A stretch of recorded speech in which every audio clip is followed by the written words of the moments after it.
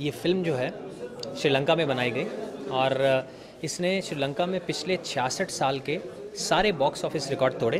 उसके बाद इस फ़िल्म को हमने वियतनाम में दिखाया, हमने सिंगापुर में दिखाया, मलेशिया में दिखाया।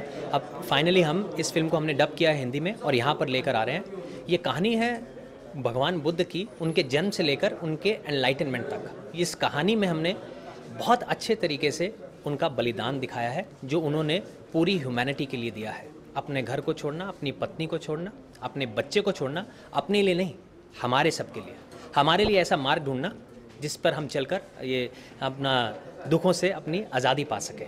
तो ये फ़िल्म उसी के लिए है और लोगों को ये क्लियर करना बहुत ज़रूरी था कि कई लोगों का मानना था कि भगवान बुद्ध जिन्हें आप भगवान की उपाधि देते हैं, जो अपना घर बार छोड़कर चले गए बिना किसी को बताए उन्हें कैसे आप भगवान कह सकते हैं? तो इस फ़िल्म में हमने बहुत खूबसूरत तरीके से इस बात को क्लियर किया है कि वो अपने माँ बाप से परमिशन लेकर गए थे, अपनी पत्नी को बताकर गए थे और अपने बच्चे को उसी दिन छोड़कर गए थे जिन दिन, जिस दिन उनका नामकरण था।